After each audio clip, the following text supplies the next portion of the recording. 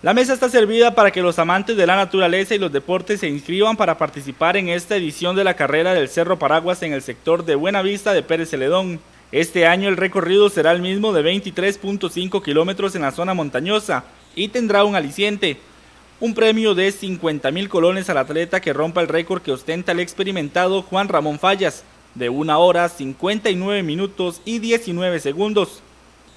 Para los organizadores esta es una de las competencias más importantes de Pérez Celedón, pues combina la competencia con el entorno natural de la zona para el disfrute de corredores y familiares.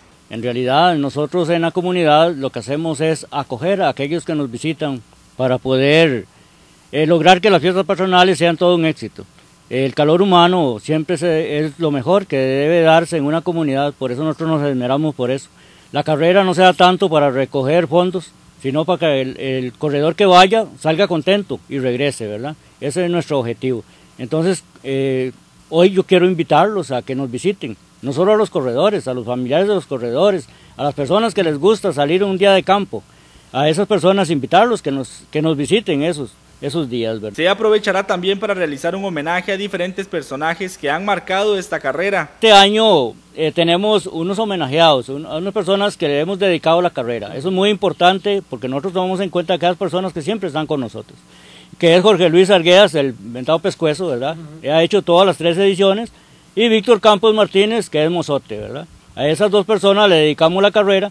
Y también tenemos como homenajeados al Canastico, que también ha estado con nosotros las tres ediciones y José Manuel López, el mentado morado. De momento hay más de 100 corredores inscritos, pero se espera a nivel organizacional superar las 180 personas en competencia. Eh, bueno, hasta ayer habían más de 100 inscritos. Esperamos que este año pase. Eh, el año anterior fueron 182.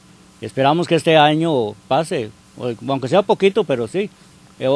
Tenemos la tendencia de por lo menos quedarnos igual al año pasado. Las inscripciones en Pérez Celedón se pueden realizar en las tiendas El Canastico e incluyen medalla, camiseta, cena y hospedaje.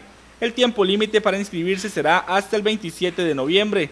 Para este año se contará con las categorías juvenil, élite, veteranos A, B, C y D, tanto en la rama masculina como femenina. La competencia dará inicio a las 7 de la mañana.